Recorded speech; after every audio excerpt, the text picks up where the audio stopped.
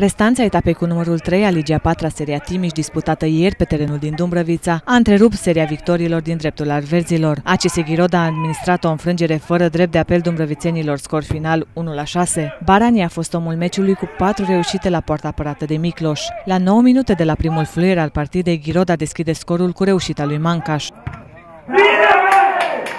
Jocul se înclină în favoarea oaspeților, iar în minutele 23 și 35, Barani marchează două goluri pentru alb-albaștri.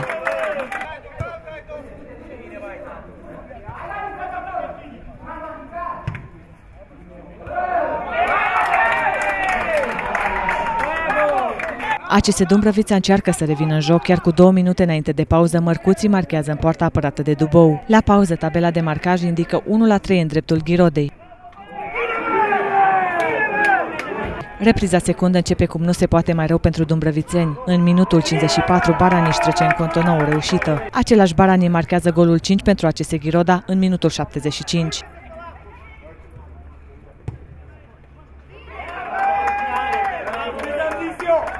La 15 minute de la introducerea sa în teren, Dochița se trece pe lista marcatorilor și astfel închide tabela de marcaj la un usturător 1 la 6. Etapa viitoare, ACS Dumbrăvița primește vizita celor de la CS Timișul Șag, sâmbătă 17 septembrie, ora 11.